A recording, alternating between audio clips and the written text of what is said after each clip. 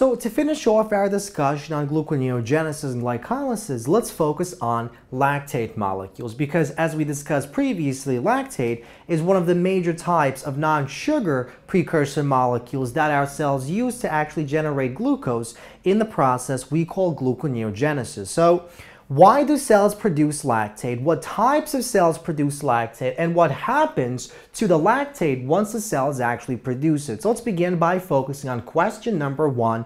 Why do cells produce lactate? Well, Remember that glycolysis, which is basically used to form ATP molecules and pyruvate molecules from glucose, is not a perfect process. And what that means is it actually uses up important molecules known as NAD plus molecules, nicotinamide, adenine dinucleotides.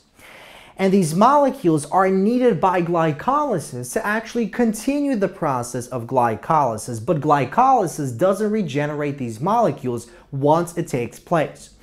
And that's precisely why under aerobic conditions, when we have plenty of oxygen inside the cell, that pyruvate enters the mitochondria and we form more ATP molecules and we also regenerate those NAD plus molecules from the breakdown of pyruvate under aerobic conditions.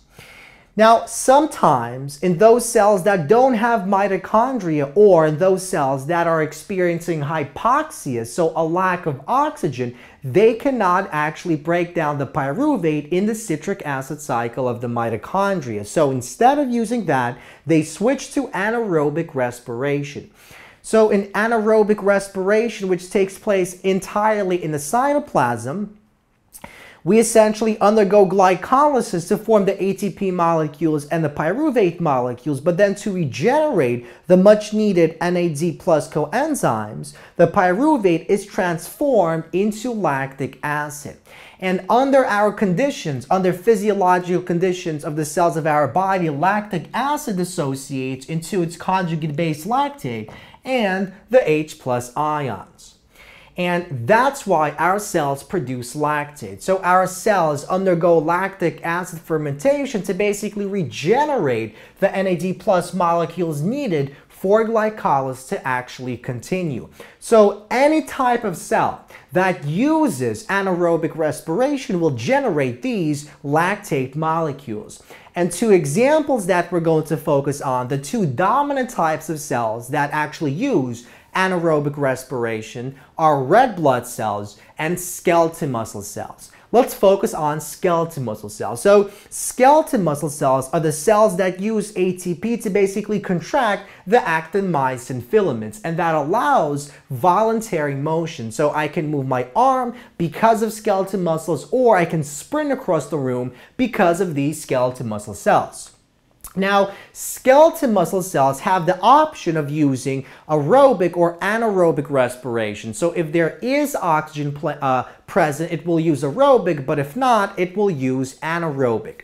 But red blood cells don't have organelles. They don't have any mitochondria. And what that means is they don't have the cell machinery needed for aerobic respiration. So Red blood cells only use anaerobic cellular respiration to produce ATP molecules. And so red blood cells produce many of these lactate molecules. So once again, lactate is the major precursor molecule that can be used to form glucose in gluconeogenesis. Skeletal muscle cells produce lactic acid, which then dissociates into lactate and the H plus ions during exercise when the rate of glycolysis is greater than the rate of oxidative phosphorylation that takes place in the mitochondria. Other types of cells like red blood cells only produce lactic acid because they don't have the machinery, the mitochondria needed to actually regenerate those NAD plus coenzymes that we must have if we want to actually use glycolysis to form those ATP molecules. Now, notice that if the cells continually use lactic acid fermentation, there's going to be a buildup in the H plus concentration in the cell and the surrounding tissue. And that will decrease the pH and increase the acidity. And that can be very dangerous. Why?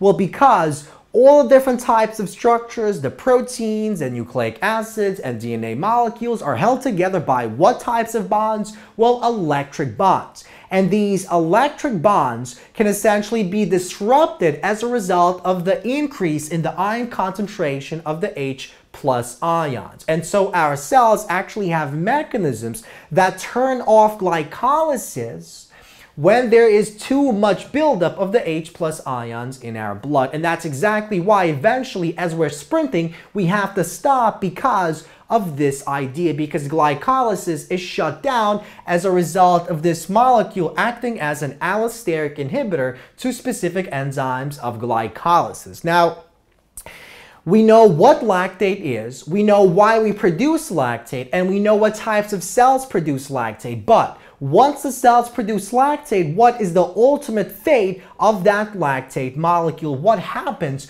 to the lactate? So we see that metabolizing skeletal muscle cells or red blood cells cannot actually use the lactate molecule in any useful way. They can't actually do anything useful with the lactate, but that doesn't mean that other cells, specialized cells of our body, cannot actually use the lactate for something special or for something useful. In fact, two specialized types of cells that can and do use lactate produced by red blood cell and skeletal muscle cells are cardiac muscle cells and liver cells.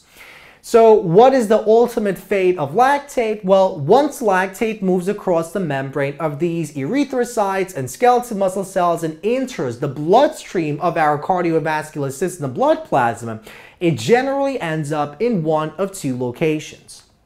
Cardiac muscle cells and liver cells. And so let's focus on the following diagram as we go along this text.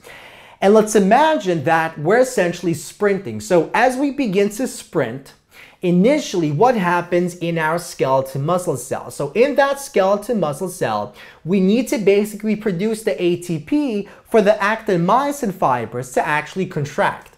And so the glycogen storages are essentially depleted. We break down glycogen into glucose 6-phosphate, and that is then used to produce pyruvate molecules and ATP molecules and then to reform the NAD pluses because initially as we begin sprinting we have plenty of oxygen. The pyruvate will go into the mitochondria where we produce many more ATP molecules and regenerate those NAD plus coenzymes that are then reused by glycolysis. In addition, we also produce carbon dioxide and water molecules. Now, at the same exact time, our glycogen storages are being depleted. What that means is the skeletal muscle cell will have to look elsewhere for the glucose supply. And so, because we have plenty of glucose in our bloodstream, that glucose is essentially uptaken by the skeletal muscle cells. So we can get the glucose from the glycogen or we can get it from that circulating blood, uh, blood plasma. Now, really quickly, if we're sprinting very rapidly, then what that means is the O2 will be depleted very quickly and we're going to enter anaerobic conditions in which we're going to use lactic acid fermentation to basically produce lactate molecules from pyruvate in the process regenerating those NAD plus coenzymes.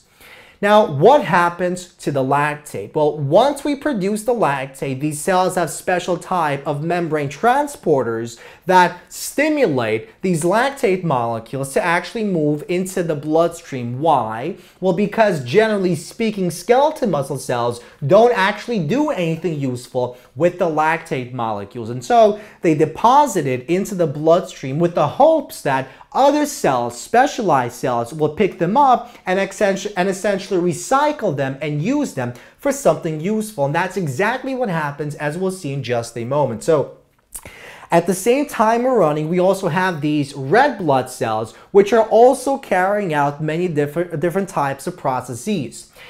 And so in these cells, the red blood cells also uptake these glucose molecules from the bloodstream because they need to use the glucose to form the ATP. And so glycolysis takes place in the erythrocyte. And once we form the pyruvate, because it doesn't have any mitochondria, it can't use aerobic respiration. So it, dep it depends strictly on fermentation. And so we transform the pyruvate into lactate And just like in this case, it diffuses into the bloodstream. And so now we have a buildup of lactate in our bloodstream. What happens next? Well, let's focus on one.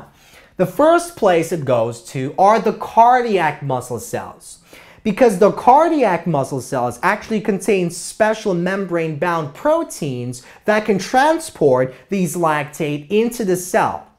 Now, what happens to the lactate? Well, inside cardiac muscle cells, we have a special enzyme known as lactate dehydrogenase. And what lactate dehydrogenase and what lactate de, uh, dehydrogenase can do is it can basically transform the lactate molecules back into pyruvate molecules. What for? Well, when we're running, when we're sprinting, not only are the skeletal muscle cells working, but the cardiac muscle cells are continually pumping that blood through the cardiovascular system. And as we begin running quicker, what that means is the heart has to pump quicker and more and with a more forceful contraction. And so what that happens is it also needs to actually create ATP molecules. And the lactate molecules basically create this uh, additional source of energy that can be used to basically form that glucose uh, to form the pyruvate that, that is actually then fed into the mitochondria. So lactate goes into the cardiac muscle cell, which is transformed by lactate dehydrogenase into pyruvate, and then the pyruvate goes straight into the mitochondria. Why? Well, because cardiac muscle cells never undergo anaerobic respiration. There's always plenty of oxygen inside the cardiac muscle cells. And so for that reason, the pyruvate is fed directly into the mitochondria. So we see that these cardiac muscle cells really utilize these high energy molecules because not only do the glucose molecules inside the cardiac muscle cell actually transform into pyruvate and then go into the mitochondria, and not only are the glycogen storages used to produce the glucose 6-phosphate, which ultimately form the ATP molecules, but in addition,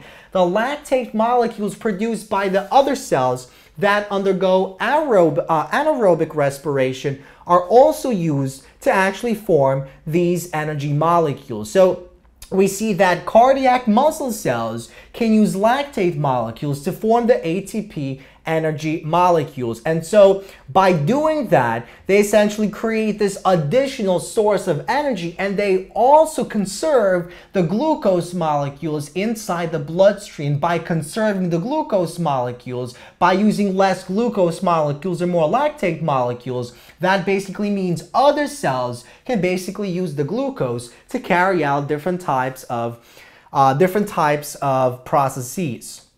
Now, that's basically the first place where the lactate ends up. So cells such as cardiac muscle cells have special membrane proteins that can make the cell highly permeable to lactate. And once inside the cardiac myocytes, the lactate can be transformed back into pyruvate by lactate dehydrogenase and then fed into the citric acid cycle to generate ATP. Why? We, well, because in cardiac muscle cells, we only use aerobic respiration, never anaerobic respiration. There's always plenty of oxygen inside these cells. And this helps these cardiac muscle cells obtain an additional source of energy and also helps conserve the glucose in the blood so that other cells can actually use the glucose, for instance, uh, brain cells.